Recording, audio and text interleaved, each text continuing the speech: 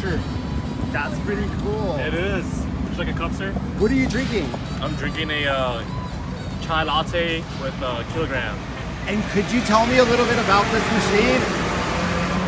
Yeah, what would you like to know?